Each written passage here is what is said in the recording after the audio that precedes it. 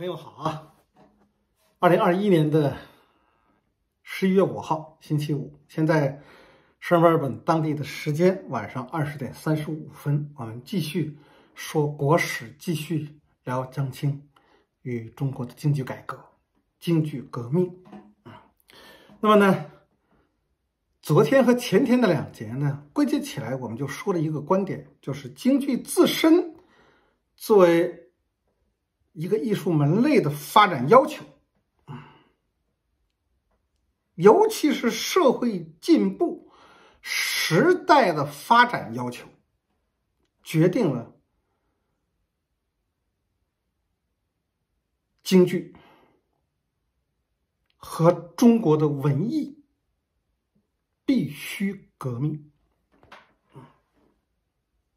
这不仅仅是。中国的社会的社会进步与时代发展的要求，要求中国的文艺要进步、要改革、要革命，也不仅仅是中国的文艺有这样的自身的啊这个发展要求，其他国家也一样，其他的艺术门类也一样。比如说，大家说。世界三大男高音一唱啊，帕瓦罗蒂啊！意大利歌剧，意大利歌剧啊，你意大利歌剧是叫意大利歌剧，起源于意大利，但是后来其实它前之后在意大利唱响了之后不久，欧洲有法国什么德国不都有嘛，是啊？意大利歌剧作为一个艺术种类，已经是成了欧洲文化的一个标志。成了西方文化的一个标志啊！这就像中国人，你包括即使他不喜欢京剧的人，那比如说我现在身在国外啊，我们经常看到这样的朋友们，他不懂京剧，他也不会唱，但是旁边有一个这个这个发声的一个装置，只要是发出了京剧曲牌的声音的话，他立马他就会侧目。他就会看一看什么东西，为什么呢？那是他基因里的东西，那是他的文化，那是他的母文化。就像我们在这儿也一样啊！你看，包括我们这街坊邻里的，嗯，你说他们都是没事唱意大利歌剧吗？不是，没事他们都在家搞交响乐吗？或者弹钢琴？嗯，啊，但是。如果你要是弹了钢琴了，他们会不由自主的跟你聊起来，说：“哟，没想到你的儿子把我们的东西弹的这么好。”他这么说：“我儿子弹钢琴。”我们的邻居啊，我们的英国老太太有一次第一次跟我们聊天的时候，这个就聊聊，因为处的都非常好。他忽然间说：“说，哟，这个没想到啊，你的儿子把我们的。”东西弹的那么好，他说就我们的东西，他也不会弹钢琴。嗯，包括歌剧，你看墨尔本是澳大利亚的文化首都啊，这疫情下来了，这断了一年多了，快两年了。否则在那之前的话，这 CT 里那几大剧场，一年到头是不是啊？就是吸人的这些艺术，那是的，简直他妈的目不暇接。嗯，包括歌剧。一听他就有反应啊！任何一个人他听都有反应，为什么？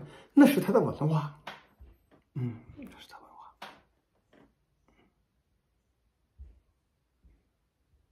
但是，就是比如说，就说这个意大利歌剧啊，意大利歌剧在它发展的过程中，它要不经过十八世纪初、十八世纪中叶的那一次著名的格鲁克歌剧改革，它能有今天吗？一九五六十年代那个时候，那个当口的中国京剧面临的处境和十八世纪初意大利歌剧的那个处境是一样的，几乎是。嗯，十八世纪呃，十八世纪初，这个应该说是欧洲的音乐界。最有影响的事件就是格鲁克的这个歌剧改革，歌剧改革为什么发生在十八世纪初？因为什么？因为启蒙运动导致了整个欧洲的旧制度的瓦解和新思想的形成与大力度的传播，就是启蒙思想。正因为启蒙思想的这个形成和大范围的传播，以及封建制的瓦解。啊，新的资本主义社会社会秩序的这样的建立，客观上它就是要求着上层建筑意识形态要与它这个经济基础相适应，跟我们六十年代江青提出经济革命搞经济革命的时候，包括毛主席那个批示里面的内容是完全一致的啊，是完全一致。那么到了十八世纪初的时候。意大利歌剧那时候也走了一百多年的这个历史了，啊，走了一百多年了。那么到那个十八世纪初的时候，啊，应该说那个就是用专业术语的话叫那波利式的啊，那波利式的意大利的正歌剧啊，就正反的正啊，正歌剧啊，到那个时候已经成熟到了不能再成熟的程度，就是。形成了它标准的而固定的这个模式了，嗯，就和中国的经济走到二十世纪五十年代、六十年代的时候是一样的，四十年代我四就是二十世纪中叶的时候那个京剧是一样的，并且很两二者之间有着太多太多的相同。一都走了一百多年的历史，第二应该说都是国剧，第三。都走到了成熟的这样的这个这个这个这个这个境界，然后什么呢？比如说，像京剧的这个取材，更多的取材历史一样，意大利的正歌剧也是这样，题材几乎都是历史证据，都是历史证据。意大利歌剧包括结构上，它那个时候正歌剧就是三幕，就是三幕，然后多场。那么人物构成呢，基本上这个剧没有什么太多的变化。你无论什么戏，你写出什么新剧本了，搞什么讲什么故事，它都有固定的范式了。所以那时候意大利歌剧基本上里边主人公什么呢？有一个暴君，有一对情人，然后呢再加一些配角，就构成了一出意大利歌剧啊。啊，你报到帕罗蒂唱，他也是这个东西啊，啊，他也是这个东西啊。啊，所以呢，到。它最成熟的时候，它就已已经到了那种什么，就是矮板化的程度了，就是所有东西都是死的了，啊，死三幕，然后呢多场，然后就这么几个人物构成，然后呢这个故事都是耳熟能详的历史故事。你说他，你你你你说他成熟到这种程度的时候，他是不是就像人一样啊？人到了一定年龄之后，整个就开始到了生理周期到了巅峰的时候，就开始退化了，我就是。一步步的走向死亡了，就是这样。意大利歌剧那时候也是这样子，中国的京剧在二十世纪中叶的时候基本上也是这个样子，然后内容空虚无聊，啊，然后呢，大把大把的看看什么呢？看的就是他们炫耀他的歌唱演技或者歌唱的技巧。嗯，意大利歌剧那时候咏叹调滥用到什么程度了都，是不是啊？现在我们听那些。听听听，男高音女高音来一出一来来来一段咏叹调，我们觉得哇，好棒啊，很很好，好东西是不是？你天天吃它，它也腻呀。当时那个时候，因为咏叹调是最能够这个显示他的这个这个唱功的，所以那个时候滥用咏叹调都成了舞台之害了。都为了把这个技巧炫耀够。把这咏叹调唱的唱到什么程度？剧情怎么发展都不管了，都不管了。就是我是角儿，我得满足，我得满足我这个炫耀感，这这这欲望是不是啊？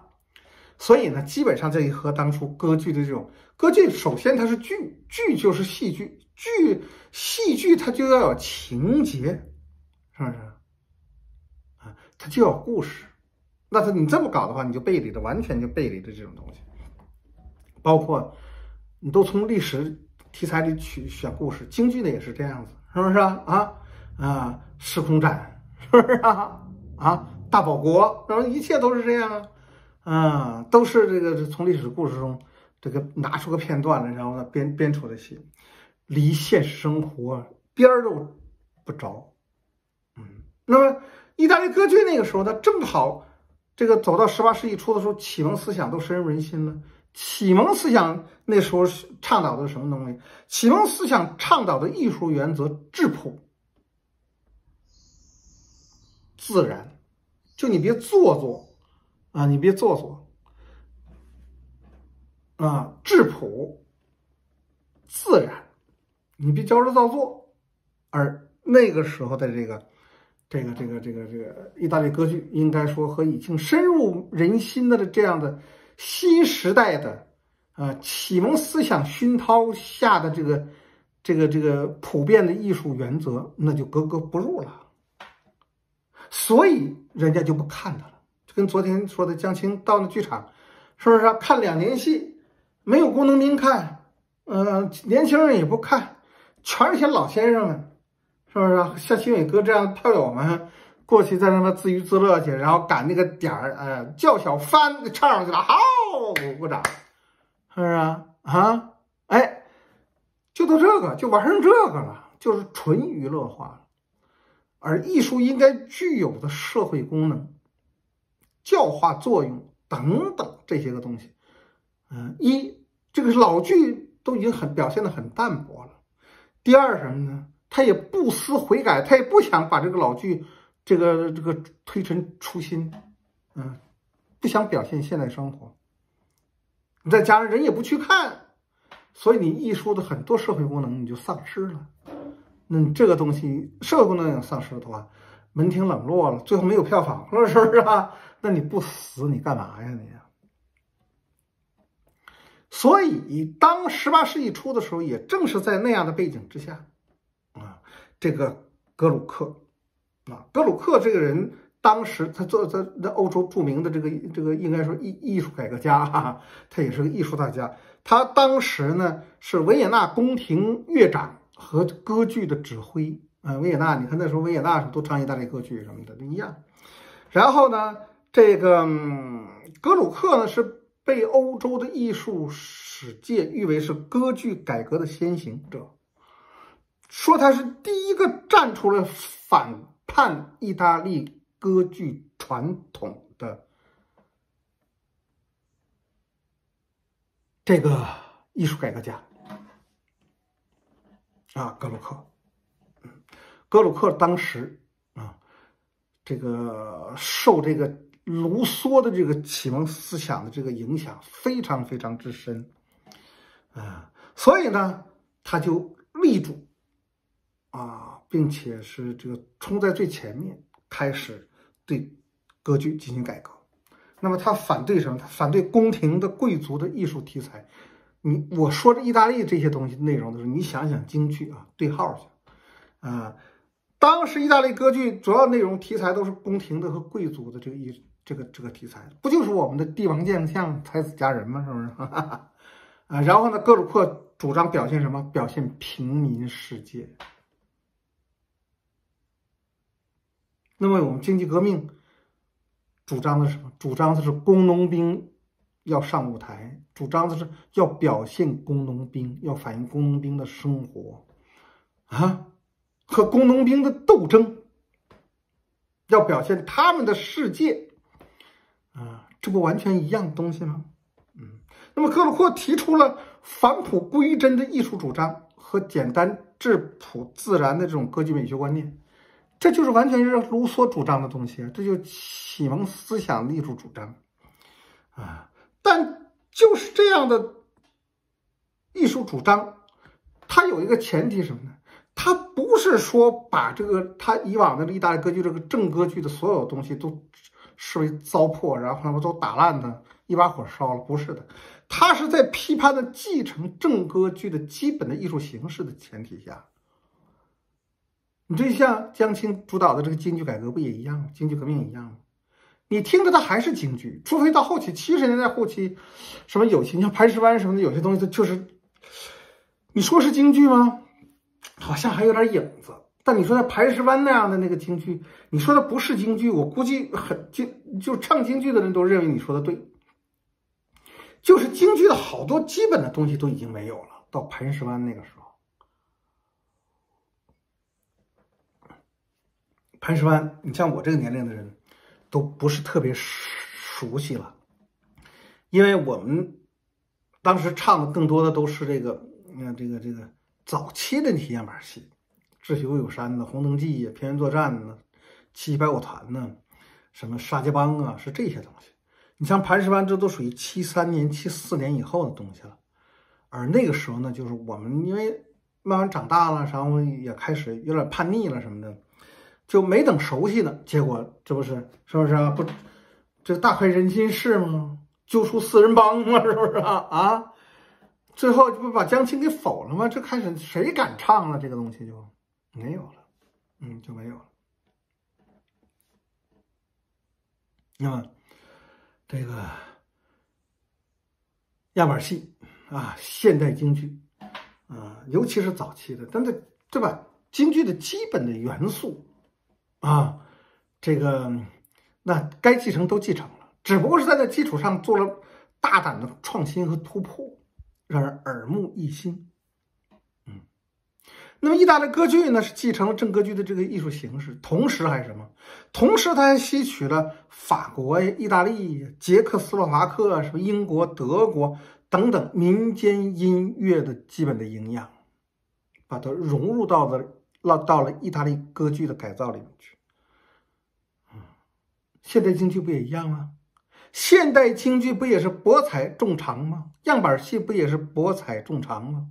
钢琴伴奏《红灯记》。这不就是兼容并蓄吗？钢琴不是中国的东西，洋人玩的玩意儿，是不是？但是殷承宗到这儿来了，就可以伴奏，浩亮就唱《红灯记》，殷承宗就可以在钢琴上演奏样这个另外的样板戏，比如说这个这个这个这个是什么沙家浜啊，什么黄河大合唱啊，什么这都属于样板戏。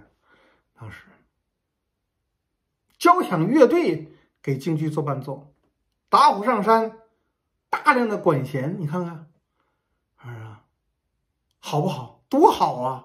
一直到现在为止，打虎上山就那整个那一一一段打虎上山，那不都是可以说音乐史上的经典啊！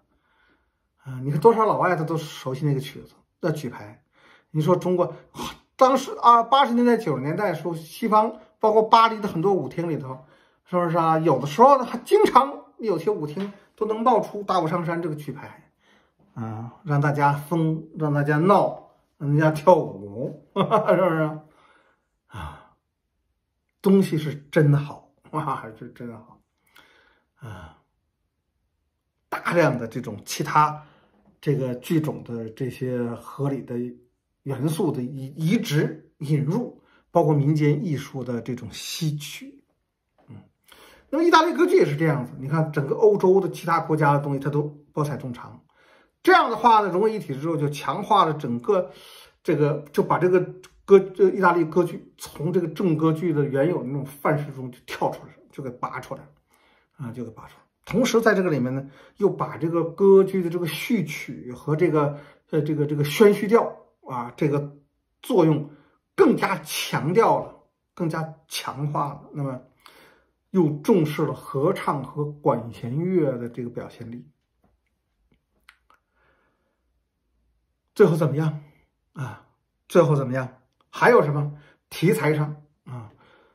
大量的这个从新的资本主义社会制度下的这种新的社会阶层，就是市民阶层啊，从这个市民社会、市民群众中，他们的生活里面有别于封建制的那种新的生活里面啊，这个寻找新的这个这个歌剧的。题材，同时呢，包装塑造了一大批的新人物，而这些人物、新人物都具有启蒙思想影响下具有理想主义的，嗯嗯这样的这个这个思想背景的，嗯这样的人物形象。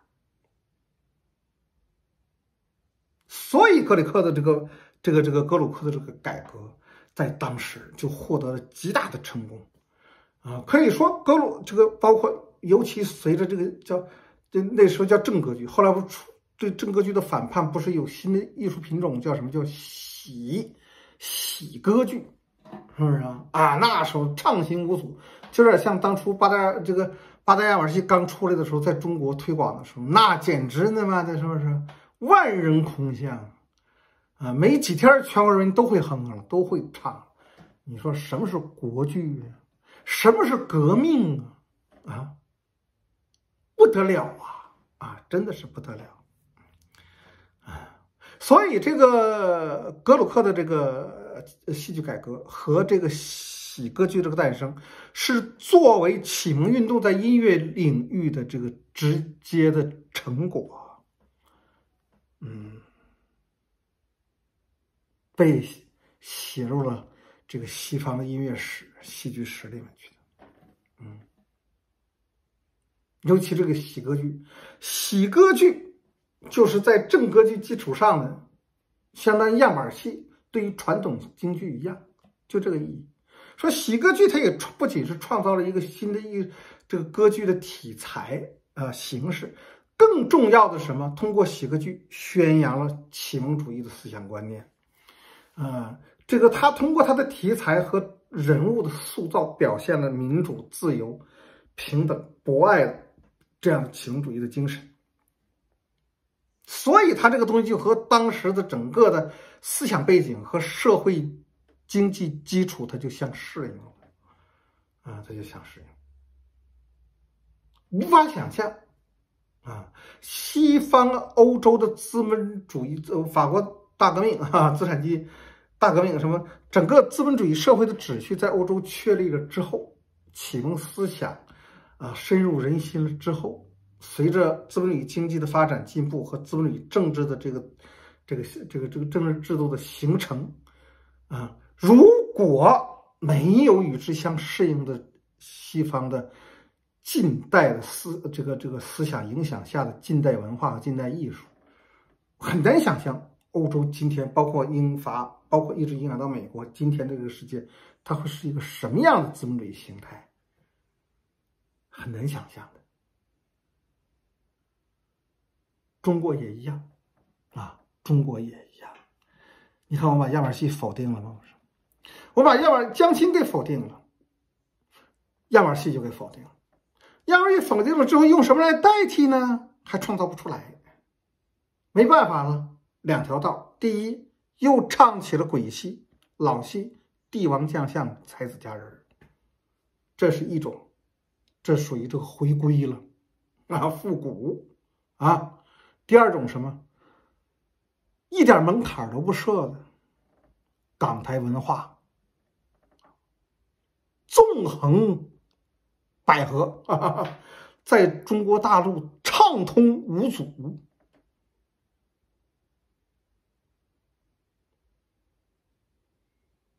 港台文化、港台艺术占领了整个中国大陆，后果是什么？结果是什么？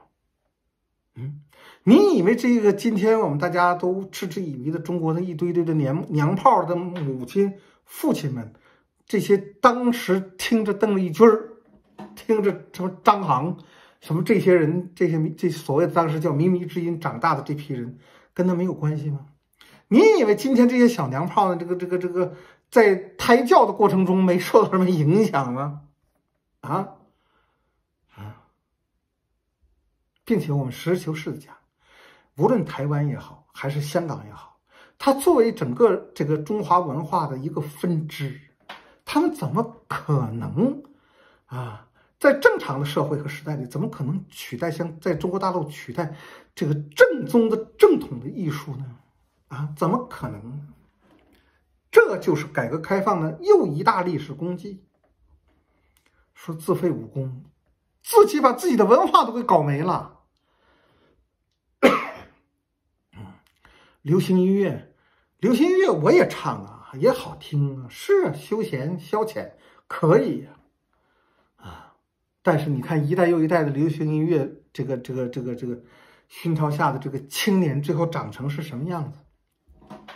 是什么样尤其这种东西成为了主流文化，那真是他妈的贻害无穷啊！真的是贻害无穷啊！所以为什么最近这几年打击娘炮，他妈的呼唤血性啊？男人你就得干点男人的事儿，是不是啊？什么东西那叫啊？是不是啊？自己当个宝行，你自己儿子自己回，你爱怎么弄怎么弄行，是不是？但你从公众价值和这个这个这这个评判尺度上来要求的话，那你男人就应该是男人嘛，是不是？你女人还就应该是女人，你整一堆他妈母老虎呢，是不是？虎妈什么的这个东西，被三座大山给压迫了，把中国的这个母亲们都搞得搞成这个样子。我前天。昨天还是前天，看到网上有个小视频，一个中学的中这个教室里面，一堆中学生在那一起唱。我妈三天没打我了，啊，你这，嗯，我真是替中国的女人们抱不平，啊，尤其最近这几十年，尤其这个教育产业化、一胎化加上教育产业化，把中国的女人搞得太苦了，简直搞得太苦。嗯，说远了，我们得回来呀，是不是啊？啊，这个意大利歌剧说，我们说这个格鲁克的这个歌剧改革，最后取得了极大的成功啊。这个最后呢，这个喜歌剧正式的取代了这个正歌剧，嗯，作为一种历史的必然，嗯，那么占据了。欧洲的艺术舞台，啊，应该说，格鲁克的这个戏剧改革赋予了本已经濒临死亡的意大利歌剧以新的生命。他这这个结论和我们对于中国江青领导下的一九六零年代和七零年代的中国的京剧革命的意义，这是一样的，这是一样的。昨天我们说嘛，没有江青，中国的京剧就死了。真他妈就死了，啊！你没有江青的京剧改革，没有样板几十出样板剧、样板戏在十年之中的这个先后的推出和普及推广与深入人心和广泛传播，啊！我估计今天的京剧可能真他妈就成了实实在在的文物了，就就成了实实在在的文物。那么呢，我们从。欧洲艺术史上啊，从格鲁克的这个戏剧改戏歌剧革命、歌剧改革，我们找到了中国六十年代、七十年代江青领导的这场京剧革命的参照系，就是这不是江青一个人头脑发热，这不是他妈的改开以后啊，共产党的官方正史里。出于污蔑江青之目的，恶毒的他妈攻击江青做的一切的事儿，尤其是江青在中国文化史上的这浓墨重彩的这一笔，啊，被他们他妈的给玷污、污蔑到了什么程度，令人发指。嗯，最后他妈的你屁都搞不出来，你搞出来比江青厉害的，我服你呀，我跟你唱都，是不是啊？啊？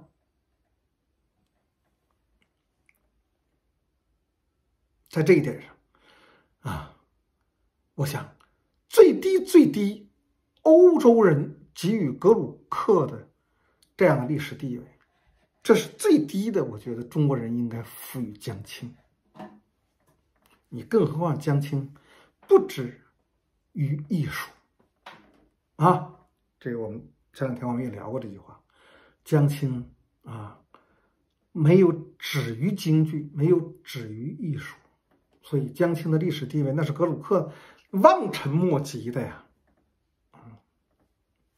正因为有了江青，才有了一九六零年代的中国的那场文艺革命，才有了一开始的八个革命样板戏的诞生。